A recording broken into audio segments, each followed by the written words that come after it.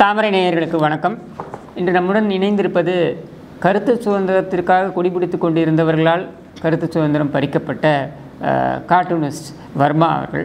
அவருக்கு பெரிய அறி அறிமுகம் தேவைப்படாதுன்னு நினைக்கிறேன். நம்ம எல்லாருமே வந்து கடந்த இரண்டு மூன்று நாட்களாகவே சமூக வலைதளங்கள்லையும் மற்ற தளங்கள்லையும் வந்து அவரை பற்றி அதிகமாக பேசியிருக்கிறோம்.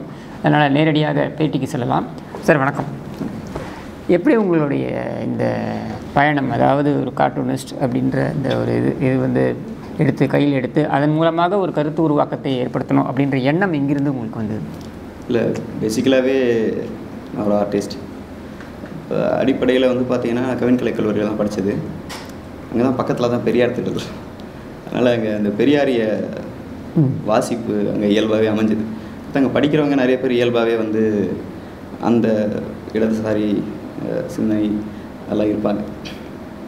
அப்படி தான் நீங்கள் பாரஞ்சியத்தில் கூட அங்கே படித்தது தான் அப்படி தான் எனக்கு பெரியாரிய அறிமுகம் கிடச்சிது. அப்படியே நிறைய அதுக்கப்புறம் தமிழ் தேசியம் அப்புறம் அரசியல் கட்சி அப்படியே ட்ராவல் பண்ணிட்டு வரக்குள்ள ஓவிய திறமையும் இருக்கும்போது அரசியல் ஆர்வம் அதிகமாக இருக்கும்பொழுது அந்த அரசியலை ஏதாவது ஒரு வகையில் வந்து வெளிப்படுத்தணுங்கிறப்ப என்னுடைய ஓவியத்திறன் வந்து ஒரு பொலிட்டிக்கல் கார்ட்டூனாக வெளிப்படுத்தினேன்.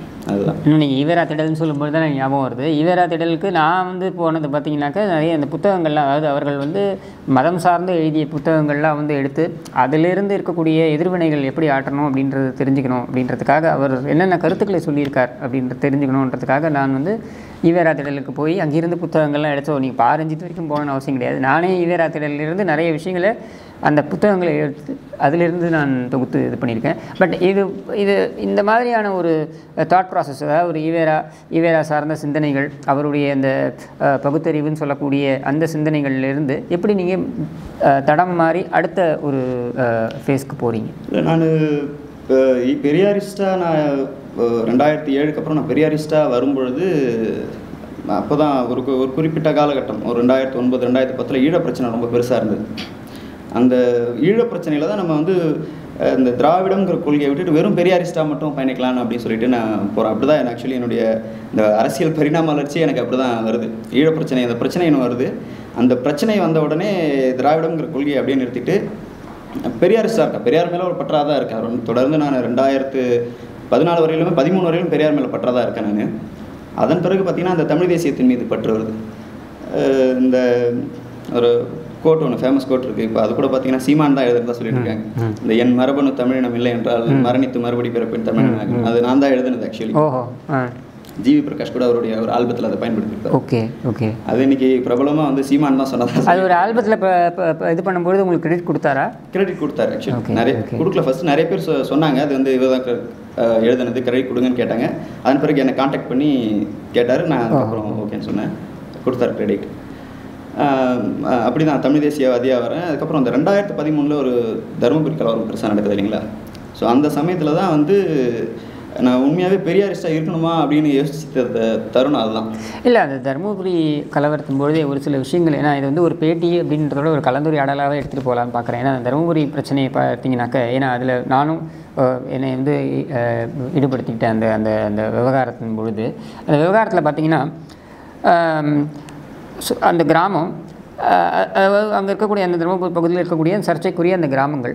அந்த கிராமங்களில் இருந்த ஆண்கள் எல்லோருமே வந்து காவல்துறையினால் வந்து ஊர் வேற ஒரு கடலூர் அங்கே இங்கேன்னு நிறைய ஜெயிலில் வச்சுட்டாங்க.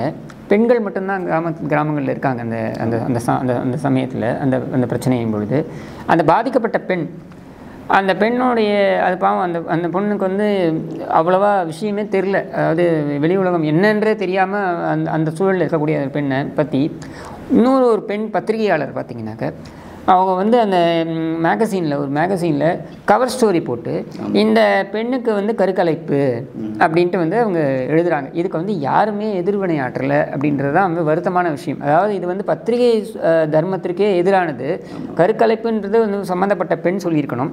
இல்லை மருத்துவ ரிப்போர்ட் இருக்கணும். மருத்துவ ரிப்போர்ட்டே இருந்தாலும் அதை வெளிப்படுத்துவதற்கு இவர்களுக்கு யாருக்குமே உரிமை கிடையாதுன்னும் பொழுது இப்படி ஒரு அத்துமீறலை வந்து ஒரு ஒரு ஊடகத்தில் நடக்குது. மெயின் ஸ்ட்ரீம் ஊடகத்தில் நடக்குது. அது யாருமே தட்டி கேட்கலன்றது ஒரு பக்கம். இன்னொரு பக்கம் பார்த்தீங்கன்னா அந்த பாதிக்கப்பட்ட பெண் நீதிமன்றத்துக்கு வந்த பொழுது இந்த பத்திரிகையாளர்லாம் சேர்ந்துக்கிட்டு மிரட்டுறது. நீ அவன் கூட போயிடு. நீ போயே ஆகணும் அப்படின்னு சொல்லி மிரட்டுறது அப்படின்றத வந்து கண் கூட பார்க்க முடிஞ்சுது. அப்போ அந்த மாதிரியான சூழலில் உங்களை சார்ந்தவர்கள் உங்கள் சமூகத்தை சார்ந்தவர்கள் எதிர்வினை ஆற்றலைன்னு நினைக்கிறீங்களா நீங்கள் இல்லை எதிர்வினை வந்து நிறைய ஆற்றியிருக்காங்க. ஆனால் அந்த எதிர்வினை வந்து ஊடகங்கள் பதிவு செய்யறதுக்கு கூட இங்கே தயாராக இல்லை அதுதான் பிரச்சனை இப்போ. இப்போ இங்கே இருக்கிற அடிப்படை பிரச்சனை என்னென்னா ஆக்சுவலி நான் ஒரு பொலிட்டிக்கல் கார்ட்டூனிஸ்ட்டாக இருக்கேன். எனக்கு வந்து பத்திரிகையில் கார்ட்டூன் போடுறதுக்கு நீங்கள் இந்த மதிமாறன் இருக்கார் இல்லைங்களா? அவர் ஒரு பத்திரிகையில் இருந்தக்குள்ள அவருக்கு நான் கார்ட்டூன் போட்டு கொடுத்துருக்கேன். ஓஹோ. ஆமாம் கொடுத்துருக்கேன் நான். மேற்கொண்டு தொடர்ச்சியாக என்னால் கார்ட்டூனிஸ்ட்டாக இனி தமிழ்நாட்டில் எந்த பத்திரிகைக்கும் கார்ட்டூனே போடக்கூடாதுங்கிற முடிவு நான் எப்போ எடுத்தாலும் புதிய தலைமுறையில் நான் ஒரு சில வாரங்கள் ஒர்க் பண்ணியிருக்கேன். அந்த பத்திரிகை ஆரம்பித்து ஒரு இரண்டு இரண்டு மூன்று இஷ்யூக்கு நான் கார்ட்டூன் போட்டு கொடுத்துருக்கேன். எனக்கு தொடர்ச்சியாக நான் முயற்சி பண்ணியிருந்தால் பல பத்திரிகைகளில் நான் கார்ட்டூன் போட்டிருக்கலாம். ஒரு கார்ட்டூனிஸ்ட்டாக வந்து பத்திரிகை கார்ட்டூனிஸ்ட்டாக நான் வளர்ந்துருக்கலாம். எனக்கு முக்கியமாக இந்த தமிழ்நாட்டு பத்திரிகைகளுக்கு கார்ட்டூனே போடக்கூடாதுங்கிற எண்ணம் வந்தது ரெண்டாயிரத்தி பதிமூணு இந்த இஷ்யூக்கு அப்புறம் தான் நம் ஒரு ஒரு குறிப்பிட்ட சமுதாய ஒரு விகடன் பத்திரிகை பேரை சொல்ல சொல்ல. சொல்லலாம் தாராளமாக சொல்லலாம். விகடன் பத்திரிகைக்கு வந்து அப்போ வந்து இறைவன் வந்து ஒரு இறைவன் சொல்லிட்டு ஒரு செயற்பாட்டாளர் இருக்கார் வன்னியர் சமுதாயத்தில். அந்த அவர் ஐயா வந்து தொடர்ச்சியாக வன்னியர் சமுதாயத்திற்கு எதிரான கவர் ஸ்டோரியாக அதில் வந்துட்டுருக்கு. அவர் வந்து அந்த பத்திரிகைக்கு எழுதுறாரு நீங்கள் ஏன் தொடர்ச்சியாக வன்னியர்களுக்கு எதிராக எழுதிட்டு இருக்கீங்க? எங்கள் தரப்பு நியாயங்களை கொடுக்குறோம். அதையும் போடுங்க. மக்கள் எவால்வ் பண்ணிக்கிட்டு எது சரி எது தப்புன்னு அப்படின்னு சொல்லும் பொழுது பத்திரிகைக்கு என்ன ரிப் ரிப்ளை பண்ணாங்கன்னா அஹ், மன்னிக்கவும் நாங்கள் வந்து வன்னியர்களுக்கு எதிரான நிலைப்பாடு எடுத்திருக்கிறோம் அப்படின்னு சொல்லிட்டு பதில் கொடுக்குறாங்க விகடனில். இது இன்னைக்கும் எங்ககிட்ட இருக்குது பதிவாக இருக்குது ஆமாம் எப்படி ஒரு பத்திரிகை வந்து ஒரு குறிப்பிட்ட சமுதாயத்திற்கு எதிராக இருக்க முடியும்? இல்லை அது அவங்க ப- பல பல தருணங்களில் வந்து அது மாதிரியான நிலைப்பாடுகள் எடுத்திருக்காங்க. ஒரு உதாரணத்துக்கு சொல்லணும்னாக்கா ஈழ பிரச்சனை நடந்து முடிஞ்சது இப்போ போர் முடிஞ்சதுக்கப்புறம் பார்த்தீங்கன்னா சில ஆண்டுகளுக்கு பின்னர் இதே விகடனில் வந்து ஒரு ஸ்டோரி போடுறாங்க. கவர் ஸ்டோரி வந்து என்னன்னு பார்த்தீங்கன்னா ஈழத்தில் இருந்த பெண் போராளிகள் முன்னாள் பெண் போராளிகள் வந்து பாலியல் தொழிலில் ஈடுபடுவதாக. அது ஒரு பெண் வந்து இன்டர்வியூ பண்ணதாக ஒரு பத்திரிகையாளர் வந்து இன்டர்வியூ செய்ததாக அந்த பேட்டி வெளியிடுறாங்க. அடிப்படை கே கேள்வி என்னென்னா இப்படி ஒரு பேட்டி நீங்கள் எங்கே போய் எடுத்தீங்க? அப்படின்னா அதுக்கு பதில் இல்லை. அதற்கு நார்மலாக இந்த மாதிரி பேட்டி எடுப்பாங்க அப்படின்னாக்கா அது பிரிண்டில் வந்தாலும் சரி அவங்க வந்து டேப் பண்ணி வைப்பாங்க. அப்படி எந்த டேப்புமே இல்லை. இதனால் ஒருவர் பணியிலிருந்து நீக்கப்பட்டார் என்பது வேறு விஷயம். ஆனால் இவங்க தரப்புலேருந்து ஒரு வருத்தம் கூட தெரிவிக்கலைன்றது தான் வந்து அவங்களுடைய வரலாறு அப்படி இருக்குது இல்லை தமிழ்நாட்டு ஊடகங்கள் பொறுத்து பார்த்தீங்கன்னா இந்தியாவிலேயே வந்து உலக அளவில் பார்த்தீங்கன்னா த- இந்திய ஊடகங்கள் ரொம்ப ஒஸ்ட் ஊடகங்கள்னு சொல்லிட்டு ஒரு வெளிநாட்டு இது கூட வந்தது கருத்து வந்தது.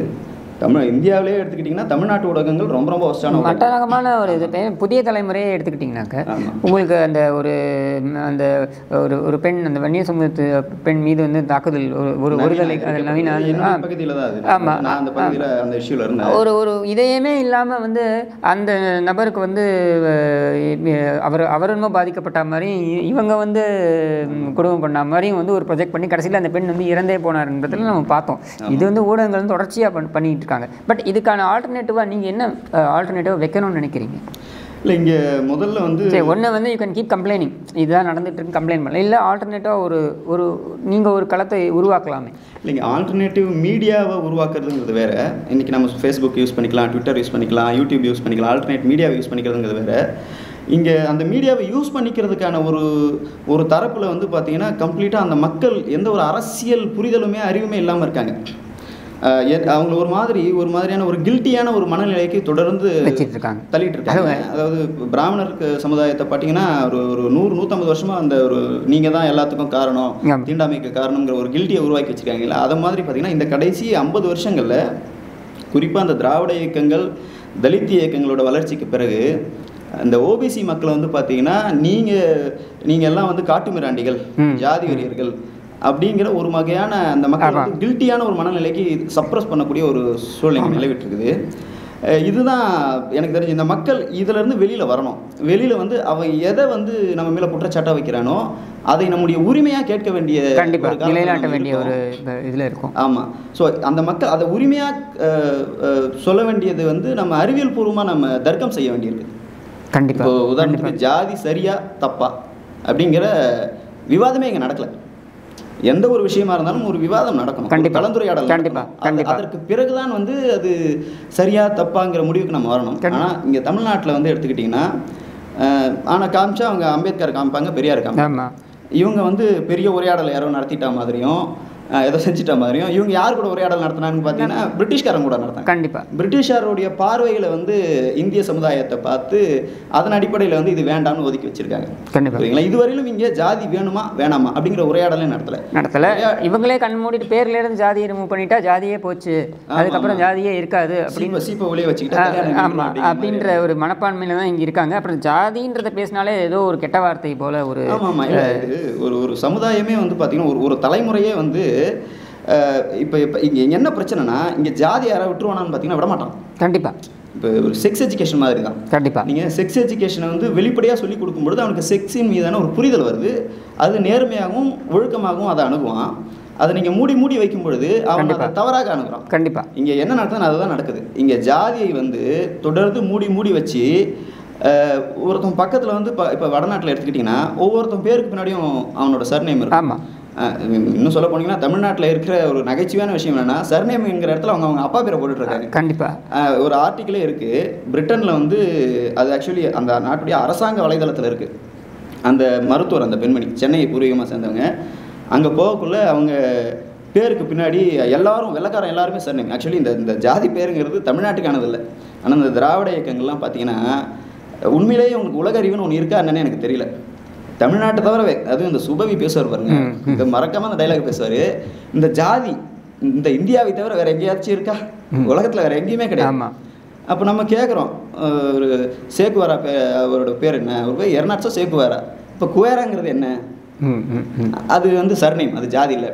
அடா அதை தான் இங்கேயும் சொல்கிறோம் அது அவங்களுக்கு அந்த புரிதலே கிடையாது. ஜாதிங்கிறது உலகம் முழுக்க இருக்க உலகளாவே ஒன்று ஏன் இஸ்லாத்தில் வந்து ஜாதி குல குலங்களை பற்றி. நபிகள் பேசுகிறாரு நாட் ஒன்லி தட் நீ முஸ்லீம்ஸை நீங்கள் இங்கே எடுத்துக்கிட்டிங்கனாங்க இந்தியாவிலே கிட்டத்தட்ட இரநூத்தி ஐம்பதுலேயும் இரநூத்தி எழுபது பிரிவுகள் இருக்குது ஆமாம் ஆமாம் அவ்வளவு பிரிவுகள் இருக்குது அவங்க சில பிரிவுகளுக்கு நடுவில் திருமணங்கள் கூட நட நடைபெறுவதில்லை. இது வந்து உண்மை. இவங்க வந்து மறுக்கலாம்.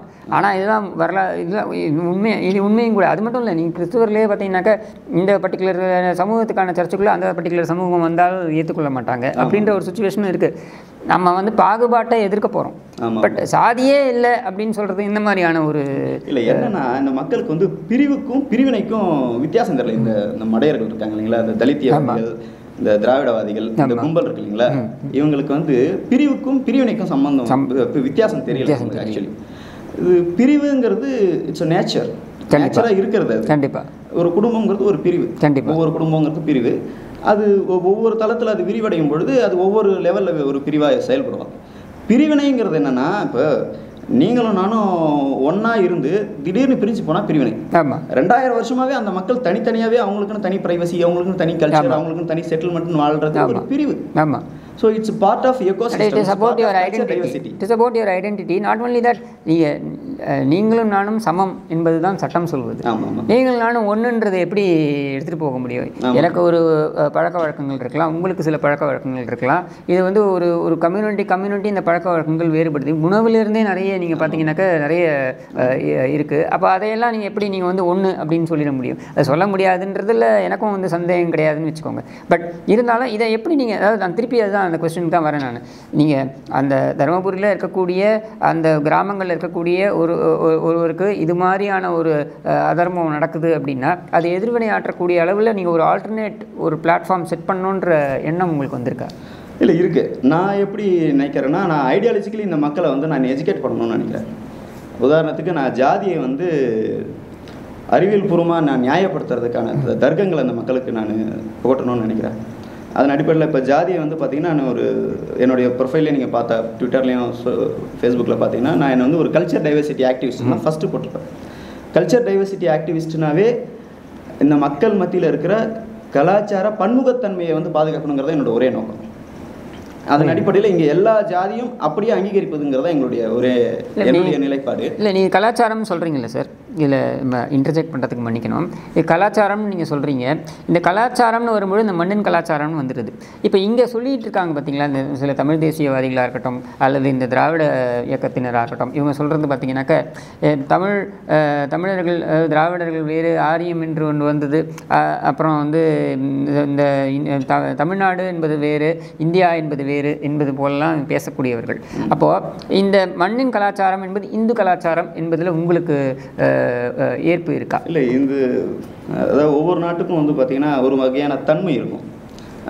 குறிப்பாக உலகத்தில் வந்து வேறு எந்த நாட்டுக்குமே வந்து பார்த்திங்கன்னா அந்த யூனிக்னஸ் வந்து கடந்த ரெண்டாயிரம் வருஷமாக எந்த நாட்டுக்குமே கிடையாது.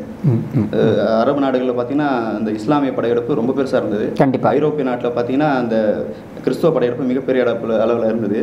அதனால் எந்த நாட்டிலையும் அந்த யூனிக்னஸ் கிடையாது.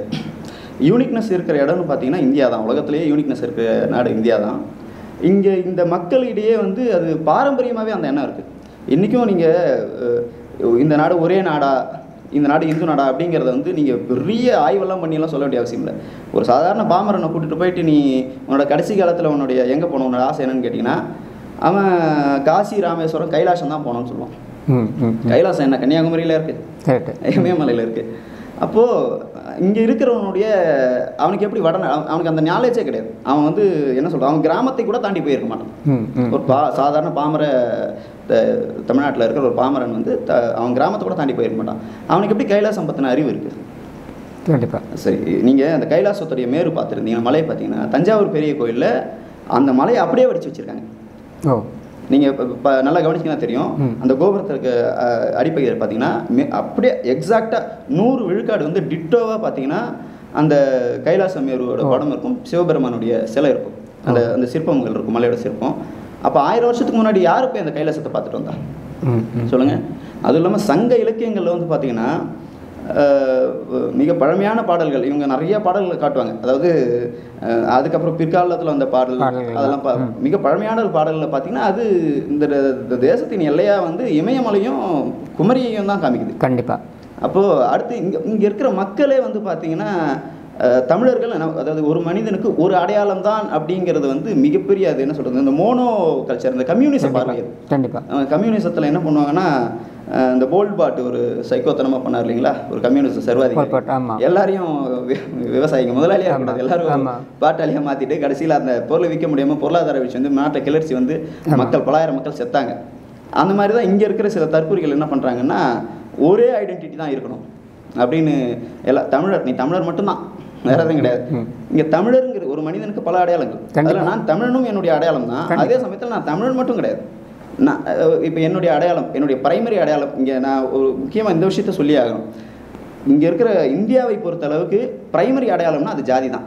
கண்டிப்பாக ஏன்னா ஒரு எந்த ஒரு அடையாளம் வந்து இப்போ இனவியல் கோட்பாட்டை வந்து எப்படி வரையறுக்கிறாங்கன்னா எந்த ஒரு இனக்குழுக்கு வந்து ஒரே பண்பாடு ஒரே கலாச்சாரம் ஒரே சடங்கு பாரம்பரிய பின்னணி இருக்கோ அவங்க வந்து ஒரு இனம். அதன் அடிப்படையில் பார்த்தீங்கன்னா இங்கே இப்போ வன்னியர் சமூகத்தை எடுத்துக்கிட்டிங்கன்னா எங்களுக்குன்னு ஒரு வரலாறு இருக்குது வரலாற்று பின்னணி சமூக பின்னணி கலாச்சார பின்னணி இருக்குது இப்போ நாங்கள் தமிழ் மட்டுமா பேசுகிறீங்கன்னா இல்லை. கர்நாடகாவில் திகழர்கள்னு சொல்லிட்டு. கன்னடம் பேசுகிறோம் ஒரு இடமே இருக்கு. ஆந்திரால திகழர்பாளையான்னு இடமே இருக்கு அக்னிகுலட்சத்துலையும் சொல்லிட்டு தெலுங்கு பேசுகிறோம் வட இந்தியாவில் இந்த மாதிரி பல மொழி பேசுகிற ஒரு சமூகம் தாங்க நாங்கள் மட்டும் இல்லை. நீங்கள் இன்றைக்கி நாடார் சமுதாயத்தை எடுத்துக்கிட்டிங்கன்னா அவங்க கேரளாவில் ஈழவரன் இருக்காங்க. கே கர்நாடகாவில் ஈடியான் இருக்காங்க. இப்படி தமிழ்நாட்டில் இருக்கிற ஒவ்வொரு ஜாதிக்கும் ஒரு பிரதி வேறு ஒரு மொழியில் வேறு ஒரு மாநிலத்தில் இன்னும் வாழ்ந்துட்டு தான் இருக்காங்க. பறையர் சமுதாயத்தில் இருக்காங்க பலர் சமுதாயத்தில் எல்லா சமுதாயத்துக்கும் ஒரு அவங்க வந்து இந்தியா முழுமைக்கும் பரவி இருக்கிற ஒரு சமூகமாக இருக்காங்க. இந்த ம- மொழி வளர்ச்சியினால் அவங்க பல்வேறு மொழியினராக மாறி போயிருக்காங்க. அது பிற்காலத்தில் ஏற்பட்ட மாற்றம். அதனால் இவங்க வெறும் தமிழர்களா அப்படிங்கிற தமிழ் மட்டும்தான் இவங்களோட அடையாளமா அப்படிங்கிற அதெல்லாம் கிடையவே கிடையாது. இவங்க பா அடிப்படையில் இவங்க வந்து இந்தியர்கள். இந்தியர்கள் என்றால் இந்துக்கள். இதில் இது இதுதான் அடிப்படை இங்கே. நீங்கள் வேறு எந்த ஒரு மோனோ ஐடென்டிட்டியை கொண்டு வந்தாலும் அது சர்வாதிகாரம் இட்ஸ் டிசாஸ்டர் தான். அப்போ அந்த இந்த இந்த இந்து அடையாளம் இருக்கு இல்லையா? இந்த இந்து அடையாளத்தை தான் நீங்கள் வைத்து தான் இந்த இந்த இந்த மண்ணின் கலாச்சாரத்தை பாதுகாக்க முடியும் அப்படின்றத நீங்கள் நம்புறீங்களா? கண்டிப்பாக ஏன்னா ஒரு ஒரு நாட்டிற்கு வந்து ஒரு நாட்டினுடைய ஒட்டுமொத்த கலாச்சாரத்தையுமே மாற்றக்கூடியதுக்கான அடிப்படையாக எது இருக்குன்னு பார்த்தீங்கன்னா பொருளாதாரம் இருக்கும். எந்த நாட்டு எந்த நாடு வந்து ஒரு தவறான பொருளாதாரத்தை பின்பற்றுதோ அந்த நாட்டினுடைய கலாச்சாரம் அழியும் மக்களுடைய பாரம்பரியம் அழியும் அவங்களுடைய குடும்ப அமைப்பு அழியும் அழியும். அந்த வகையில் பார்த்தீங்கன்னா ஹிந்து அப்படிங்கிற அந்த கலாச்சார அமைப்பு முறை இல்லையா ஜாதி அமைப்பு முறை இது வந்து பார்த்திங்கன்னா அடிப்படையிலேயே ஒரு ஒரு டிபெண்டன்சி எக்கனாமி சிஸ்டம் இது. நம்ம ஹிந்து பாரம்பரிய இந்த மரபியல் இருக்குங்களா இன்னும் சொல்லப்போனால் ஒரு சுதேசி பொருளாதார கொள்கைனே சொல்லலாம் அதை கலைச்சொற்களாக சொல்லணும்னா. இது வந்து ஒரு கம்யூனிட்டி டிபெண்டன்சி பொருளாதாரம். ஒரு சமூகம் வந்து அதிக நிலவுடைமை வச்சிருக்கும். அந்த சமுதாயத்தை சார்ந்து இன்னொரு சமுதாயம் வந்து விவசாயம். அவங்ககிட்ட வேளாண்மை பணி செய்கிறவங்களா இருப்பாங்க. உடனே இதை உடனே கேட்பாங்க சில பேர். அப்போ வந்து காலங்காலமாக அவனுக்கு வந்து வேலை செய்யணுமா? நீ வந்து நில உடைமையாக இருக்கணுமா? அப்படிலாம் கேட்பாங்க. இன்னைக்கு பெரிய பெரிய கார்ப்பரேட் யார் வச்சிருக்கா? மல்டி மில்லியனர் அமெரிக்காக்காரன் வெள்ளக்காரன் தான் வச்சிருக்கான். இன்னைக்கு நீங்கள் போய் அந்த கார்ப்பரேட்டில் போய் என்ன எட்டு மணி நேரத்துக்கு வேலை பார்க்குறீங்க? சட்டம் வேணா எட்டு மணி நேரத்துக்கு இருக்கும் நீ எத்தனை மணி நேரம் வேலை பார்க்குறீங்க? பல மணி நேரம் வேலை பார்க்குறீங்க. அவன் உங்களுக்கு அவன் சம்பாதிக்கிற சம்பாதனையை பார்த்தீங்களா? உங்களுக்கு கொடுக்கறது பிச்சை. ஆனால் இன்றைக்கி இன்றைக்கும் கிராமங்களில் போய் பாருங்கள் ஒரு ஏக்கர் நெல் அறுத்தா அதில் வேலை செய்கிற கூலி ஆட்களுக்கு வந்து ஜாதியெல்லாம் கிடையாது. இந்த ஜாதிக்காரன் தான் நெல் இருக்கிறோம் கூலி பார்க்குறான் பார்க்குறோம் ஏர் ஓட்டுறோம்லாம் கிடையாது. எல்லா ஜாதியும் இப்போ உதாரணமாக எங்கள் சமுதாயத்தை எடுத்திங்கன்னா எங்கள் சமுதாயத்தில் எல்லா தொழில் செய்கிறவங்களும் விவச நிலவுடைமையில் எடுத்துக்கிட்டிங்கன்னா நிலவுடைமையும் வன்னியர்கிட்ட இருக்கும் விவசாயம் செய்கிறவங்களும் வன்னியராக இருப்பாங்க. இது அதில் விவசாய கூலிகளாக இருக்கவங்களும் வன்னியராக இருப்பாங்க. அப்போது அதனுடைய அந்த பிரி வருகிற லாபம் இருக்கு இல்லைங்களா விவசாயத்தில்? அதை பிரிக்கிற முறை இருக்குல்ல? இந்திய சுதேச பொருளாதாரத்தில் ஒரு ஏ ஒரு ஏக்கரில் ஒரு ஐம்பது மூட்டை நெல் வருதுன்னா அதை தோட்டி தோட்டி ஆட்களுக்குன்னு தனியாக ஒரு பிரிவு கொடுப்பாங்க. துணி அந்த வண்ணார் சமுதாயத்துக்கு ஒரு பிரிவு கொடுப்பாங்க. இந்த மாதிரி ஒவ்வொரு சமுதாயமும் இருக்கும். அங்கே விவசாய தொடர்ச்சி அதுக்கு விவசாய கூலிகளாக இருந்தவங்களுக்கு ஒரு பிரிவு கொடுப்பாங்க. கடைசியாக வந்து பார்த்தீங்கன்னா அந்த நில உடைமையாளருக்கு முப்பது விழுக்காடு நாற்பது விழுக்காடுக்கும் குறைவாக தான் வீட்டுக்கு நெல் எடுத்துகிட்டு போவார். உலகத்தில் எந்த ஒரு தொழில் எந்த ஒரு கலாச்சாரத்தில் தன்னுடைய உற்பத்தியில் பாதிக்கும் மேலே பிற சமூகங்களுக்கு பகிர்ந்து கொடுக்குற பொருளாதாரம் உலகத்தில் வேற எங்கே இருக்கு சொல்லுங்க? அப்போ இந்திய சுதேச பொருளாதார கொள்கைங்கிறது அடிப்படையிலேயே தர்மத்தின் அடிப்படையில் இந்து தர்மத்தின் அடிப்படையில். அதனால தான் காந்தி வந்து தொடர்ச்சியாக பார்த்தீங்கன்னா அவருடைய இந்த சுதேச பொருளாதார கொள்கையில் தொடர்ந்து அவர் இந்து மதத்தை வலியுறுத்த காரணம் என்னென்னா இதில் மட்டும்தான் அந்த தர்ம சிந்தனை இருக்கும். அடிப்படையிலேயே தர்ம சிந்தனை ஒரு ஒரு தொழிலுக்கும் ஒரு எந்த ஒரு விஷயத்துக்கும் தர்ம சிந்தனை கண்டிப்பா. முக்கியம். நீங்கள் அந்த தர்ம இன்னைக்கு இருக்கிற அந்த பொருளாதார மெத்தடுங்கிறதே எங்கள் தர்மம்னு ஒன்றும் கிடையாது. நீயா நானா போட்டி போட்டுட்டு போவோம்? முன்ன எவன் போகிறானோ அதை பிடிப்போம். பின்னாடி நீ வர சாவு செத்துப்போ அவ்வளோதான் இங்கே இருக்கிறது. இப்போ அதுதான் இங்கே கார்ப்பரேட்ஸ் என்ன பண்ணுறான்னா இங்கே நம்ம நாட்டுக்குள்ளே புகுந்து இங்கே டிபெண்டன்சியாக இருந்த அந்த சமுதாயத்தை என்ன பண்ணுறான்னா எல்லாத்தையும் பிரித்து விட்டுட்டு எல்லாம் என்ன நோக்கி வாங்க நான் தான் உங்களுக்கு ச கூலி கொடுப்பேன் நான் தான் உங்களுக்கு சம்பளம் கொடுப்பேன். என்னை நோக்கி ஓடியாங்க. என் எவன் என்கிட்ட முதல்ல வரணும் அவனை நான் ஹையர் பண்ணிப்பேன். மீதி பேர்லாம் உங்களுக்கு வாய்ப்பே கிடையாது. செத்துப்போங்க இதுதான் அங்கே நடக்குது. அப்போ வாய்ப்பு கிடையாது. என்ன பண்ணுறேன்னா ஒருத்தனுக்குள்ள ஒருத்தன் அடிச்சுக்கிறான். அப்போ அவனுங்களை வந்து யார் லீட் பண்ணுறான்னா இந்த சைடில் ஒரு பொலிட்டிக்கல் லீடர் இந்த சைடில் ஒரு பொலிட்டிக்கல் லீடர் அப்போ இந்த பொலிட்டிக்கல் லீடர் வந்து தன்னுடைய ஜாதியை வந்து உன்னுடைய உனக்கு வாய்ப்பு மறுக்கப்படுறது காரணம் அவன் தான் காமிப்பான். இவன் உனக்கு வாய்ப்பு மறுக்க மறுக்கப்படுறது காரணம் அவன் தான் காமிப்பான். அப்போ மேலே இருந்துட்டு ஒரு கார்ப்பரேட் அந்த கார்ப்பரேட்டுக்கு பின்னாடி யார் இருப்பான்னு பார்த்தீங்கன்னா மிஷினரிஸ் இருப்பானுங்க. இந்த மதமாற்று ஆமா. கூட்டங்கள். ஆமா. அப்போ இங்கே இப்போ பாரம்பரியமான ஹிந்து கலாச்சாரத்தை அவனுடைய நோக்கம் வந்து இந்த நாடை வந்து எப்படி அவனுக்கு இருக்கிற பெரிய பிரச்சனையே இஸ்லாமிய நாடுகள் வந்து பார்த்தீங்கன்னா நபி வாழ்ந்த காலத்திலேயே அவர் இறக்கும் முன் நபி வாழ்ந்த காலத்திலேயே வந்து தொண்ணூறு விழுக்காடு எல்லாம் இஸ்லாமிய நாடாக மாறிடுச்சு. அரபு பிரதேசமே. கிறிஸ்துவ நாடு எப்படி கிறிஸ்துவ மதம் மாற்றினாங்க நம்ம எல்லாருக்குமே தெரியும். வாளால் தான் முழுக்க முழுக்க ஆமா கிறிஸ்துவ மயம் ஆமா மாற்றினாங்க ஆமா. இப்ப இவங்களுக்கு இருக்கிற மிகப்பெரிய உறுத்தல் என்னன்னா எட்நூறு வருஷமா இந்த மண்ணை நம்ம இந்த ஆக்கிரமிச்சிருக்கோம். இந்த மதங்கள் இந்த மதங்கள் ஆக்கிரமிச்சிருக்காங்க. மதங்கள் வந்து இந்தியாவை ஆக்கிரமிச்சிருக்கோம். இன்னைக்கு வரும் ஒரு பெரும்பான்மை மதம் பெரும்பான்மை மதத்தை ஒழிக்க முடியல.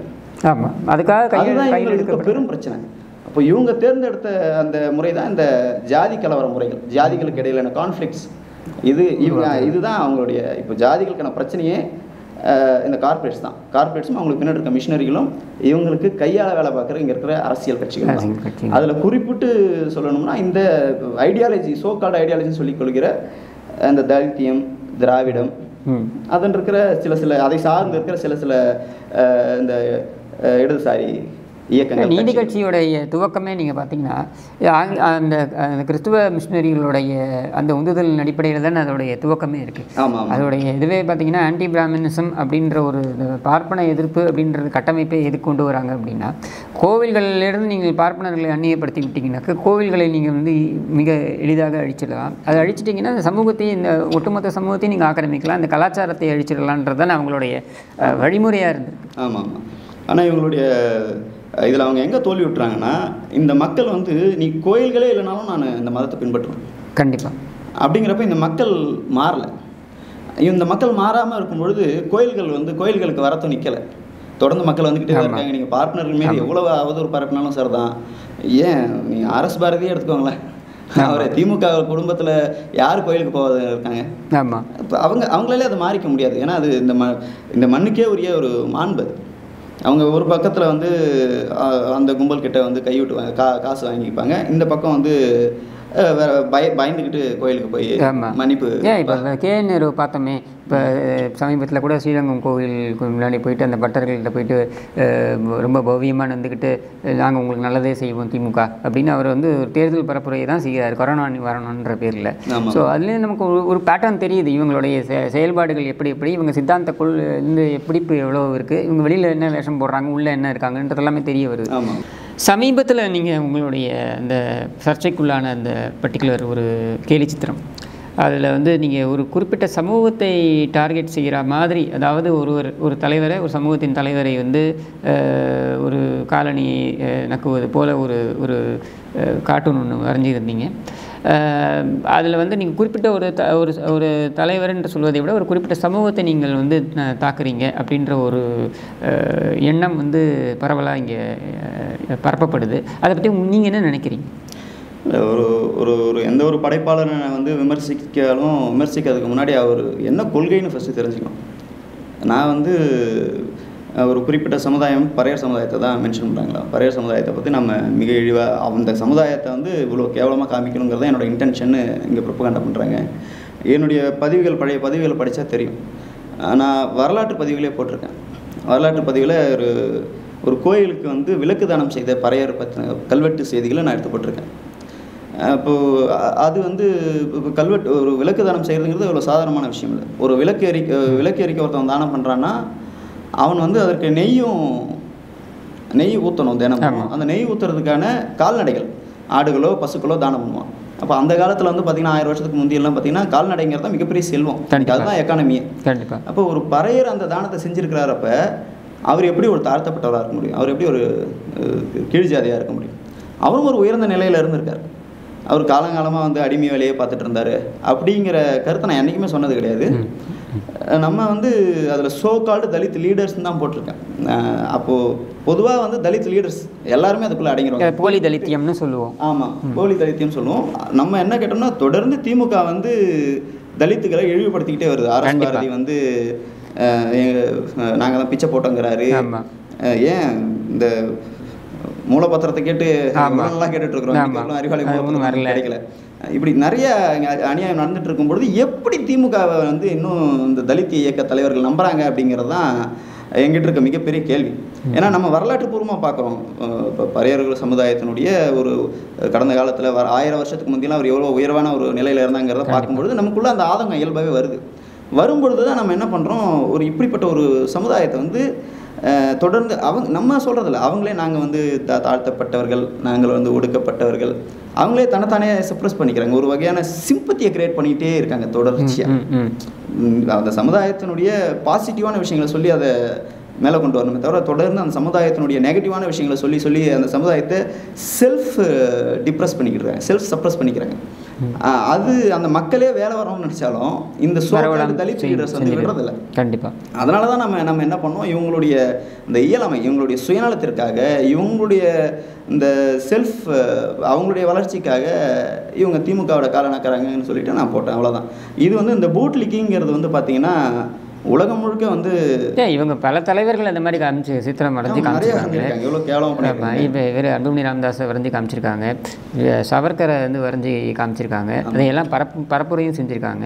இவங்க பரப்புரை செய்யும் பொழுது அது வந்து கருத்து சுதந்திரமாக பார்க்கப்படுது. ஆனால் ஆனால் உங்களுடைய ஒரு கருத்தோடைய வெளிப்பாடாக அதை வந்து பார்க்க முடியல உங்களுக்கு அப்படின்றது அதுலேருந்து தெளிவு தெரியுது. தெளிவாக தெரியுது இல்லைங்க கருத்துங்கிறதே இவங்க ஒருத்தவங்களுக்கு மட்டும்தான் அப்படிங்கிறது தான் இங்கே இருக்குது ஒரு வழிப்பாதை தான் ஆமாம் ஆமாம் தமிழ்நாட்டை பொறுத்தளவுக்கு அது இன்னும் அந்த மாதிரி தான் சொல்கிறோம் இந்த இடதுசாரி கொள்கைங்கிறது ஒரு சர்வாதிகார பக்கம் தான். எங்கள் கம்யூனிஸ்ட் நாடுகள் ஆண்ட பகுதியெல்லாம் பாருங்கள் டிசாஸ்டர் தான். அங்கெல்லாம் மிகப்பெரிய இனப்படுகொலை நடந்திருக்கும். மிகப்பெரிய அளவில் மக்கள் செத்துருப்பாங்க. பட்டினி சாவுகள் நடந்திருக்கும். என்ன காரணம்? அவங்க வந்து பன்மைத்தன்மையை ஏற்றுக்கவே மாட்டாங்க. அதுதான் அவங்ககிட்ட இருக்க பெரும் பிரச்சனை. தான் என்ன கொள்கையை எடுத்திருக்குமோ அதுதான் சரி. அதுதான் அனைவரும் பின்பற்ற வேண்டும். யாரெல்லாம் அதை பின்பற்றலையோ அவங்கெல்லாம் வந்து சாக வேண்டியவர்கள். அப்படிதான் அபிரஹாமிய மதங்களே அப்படி தானே இருக்குது ஆமாம். நீங்கள் இப்போ இஸ்லாமோ கிறிஸ்துவமோ எடுத்துக்கிட்டிங்கன்னா உங்களுக்கு வந்து இப்போ இறை தங்களது இறைவனை நம்பாதவர்கள் ஏற்றுக்கொள்ளப்படக்கூடாது அப்படின்ற ஒரு சூழல் தானே அவங்க அவங்களுடைய பேசிக் தாட் ப்ராசஸே அப்படி தானே இருக்குது ஆமாம் என்னுடைய ஒரு கார்ட்டூன் இன்னொரு கார்ட்டூன் கூட சர்ச்சையாச்சு. அது வந்து யூரோப்லலாம் நல்ல இந்த பீசோ மாஸ்டர்னு சொல்லிட்டு ஒரு இமாம் அதிகமாக அவர் ஷேர் அவர் ஆக்சுவலி ஒரு முஸ்லீம். ஆமாம் ஆமாம் மிகப்பெரிய அளவில் அவர் ஒரு முஸ்லீம் அவர் இன்டர்நேஷ்னல் ஆமாம் தெரியும். ஸ்காலர் அவர் இஸ்லாம் இஸ்லாமிக் ஸ்காலர் அவர். அவர் என்னோட அந்த முஸ்லீம் ஆக்சுவலி ஜவாஹிருல்லா தான் என்னை முத முதல்ல கைது செய்ய சொல்லி அறிக்கை கொடுக்குறாரு. ஆமாம் ஜவாஹிருல்லாவுக்கு ஏன் இவ்வளோ எம்ம என்னை கைது செய்யறதுல என்ன அவருக்கு என்ன அவ்வளோ ஆர்வம் அப்படின்னு நம்ம பார்க்கும்போது தான் நான் அவருக்கு போட்ட கார்ட்டூன் வந்து இந்த இஸ்லாமிய இந்த ஜமாத்தை சார்ந்த நிறைய மூளை செயலை செய்யப்பட்ட அந்த பசங்கள்லாம் கொண்டுட்டு போயிட்டு நிறைய இந்த குரூப்லலாம் ஷேர் பண்ணுறாங்க. நான் வந்து இந்த மாதிரி பண்ணியிருக்கேன். அவங்க வந்து இப்போ ஒரு வந்து ஒரு இந்த தலைவரை வந்து கார்ட்டூன் போட்டிருக்காரு. இதான் சரியான சமயம். இந்த சமயத்தில் வந்து நம்ம இவனை எப்படியாவது வந்து தண்டிச்சிடணும். அதாவது அவங்கள விமர்சிச்சதால இப்படி யூஸ் பண்ணிக்கிறான்னு பார்க்குறாங்க காலங்காலமாக இப்படி தான் இவங்க. இவங்களுக்கு இதுக்குள்ளே இருக்கிற கான்ஃப்ளிக்டில் தன்னுடைய மதவெறியை தீர்த்துக்கிறது தான் இவங்களோட ஒரே வேலையாக இருக்குது நான் விமர்சித்தேன் தான் அந்த மதத்தில் வந்து ஒரு கோட்பாடு இருக்குது நீங்கள் வந்து ஜிஹாத்தில் இருந்தீங்கன்னா சொர்க்கத்துக்கு போனால் உங்களுக்கு 72 ரெண்டு கன்னிகளை வந்து அல்லாஹ் கொடுப்பாருங்கிறது அந்த மதத்தில் இருக்குது. நான் புதுசாக. சொல்ல நான் இழிவுபடுத்துறதுக்காகலாம் சொல்லலை. அந்த மதத்தில் இருக்குது அதை நான் கார்ட்டூனாக போட்டேன். நான் என்ன இப்போ எதுக்காக போட்டேன்? பெங்களூரில் ஒரு இன்ஃபோசிஸில் ஒரு ஐடியில் வேலை பார்க்குற ஒரு படித்த ஒரு முஸ்லீம் என்ன பண்ணுறான் இந்த கொரோனாவை யூஸ் பண்ணிக்கோங்க. எல்லாரும் ஜிஹாதிகளாக மாறுங்க. காஃபிர்கள் மத்தியில் கொரோனாவை பரப்புங்க அப்படின்னு சொல்லிட்டு ஒரு படித்த ஒரு முஸ்லீம் வந்து எப்படி இப்படி. முடியும். அப்போ நான் அவனை மென்ஷன் பண்ணுறேன் நான் ஒட்டுமொத்த இஸ்லாமிய சமுதாயத்தை மென்ஷன் பண்ணல இல்லை அதில் ஒரு கன்ஃபியூஷன் இருக்குது சார் அதாவது என்னென்னா இப்போ இந்த மாதிரி பிரச்சனை இருக்குது அப்படின்னு நம்ம சொல்ல போனாலே இஸ்- இஸ்லாம் எப்படிப்பட்ட மதம்? இஸ்லாம் வந்து அமைதி மார்க்கமா இன்னும் நம்ம அந்த மதத்தை பற்றி நம்ம ஒரு விவாத பொருளாகவே ஆக்கலை. நம்ம ஆக்கிறது வந்து இந்த மதம் சார்ந்தவர்கள் செய்கின்ற சில விஷயங்கள். அது வந்து தொடர்ச்சியாக நம்ம வந்து இந்த சமூகத்தில் ஏற்றுக்கொள்ள முடியாத விஷயங்களாக இருக்குன்றதை நம்ம சொல்கிறது தான் நம்ம சொல்ல வர்றது கூட அவங்க மதத்துக்குன்னு கன்ஃபியூஸ் பண்ணிடுறாங்கன்றது அது- பார்த்துருக்கேன் நம்ம இஸ்லாமிய மதத்தை வந்து நான் டார்கெட் பண்ணுறேன்னு வச்சுங்களேன் அது ஒரு எப்படி ஒரு அவ்வளோ பெரிய இஸ்லாமிக் ஸ்காலர் இன்டர்நேஷனல் ஸ்காலர் அவர் எப்படி அதை ஷேர் பண்ணுவார் சொல்லுங்க? ம், ம். அவர் அதை சப்போர்ட் பண்ணி ஷேர் பண்ணியிருக்காரு. அதில் நான் ஒரு ஒரு குறிப்பிட்ட முஸ்லீம் தான் காமிக்கிறேன். ஒரு ஜிஹாதியாக காமிக்கிறேன். ஒரு தீவிரவாதியாக காமிக்கிறேன். கொரோனா டெரரிஸ்டாக காமிக்கிறேன் அது வந்து முஸ்லீம் எல்லாத்தையும் அப்படி கிடையாது. எந்த ஒரு குறிப்பிட்ட ஒரு முஸ்லீம் கொரோனாவை யூஸ் பண்ணிட்டு காஃபிர்களை கொல்லணும்னு எவன் சொல்லி. போலீஸ் யாரை அரெஸ்ட் பண்ணிச்சோ அவனை தான் நான் அதில் மென்ஷன். பண்ணுறேன் அவனை வந்து சொர்க்கத்தில் அந்த 72 ரெண்டு கன்னிகளை கன்னியர்களே வந்து ரிஜெக்ட் பண்ணுறாங்க ஜிஹாதிஸ் வித் கொரோனா வந்து சொர்க்கத்தில் நாங்கள் அக்செப்ட் பண்ணிக்க மாட்டோம்னு சொல்லிட்டு அந்த கன்னியர்கள் ரிஜெக்ட் பண்ணுறாங்க ஸோ ஒரு இஸ்லாமிய சட்டமே உன்னை ரிஜெக்ட் பண்ணுதுங்கிற மாதிரி தான் நான் ப்ரொஜெக்ட் பண்ணியிருக்கேன்.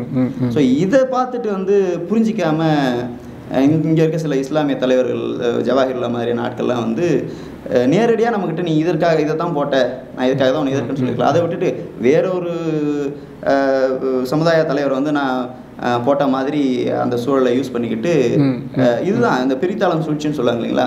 அது- இப்படி தான் இவங்களுடைய மத. வளர்த்துக்கிறாங்க பரப்பிக்கிறாங்க.